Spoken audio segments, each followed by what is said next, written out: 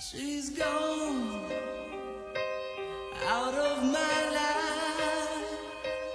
I was wrong. I'm too blame.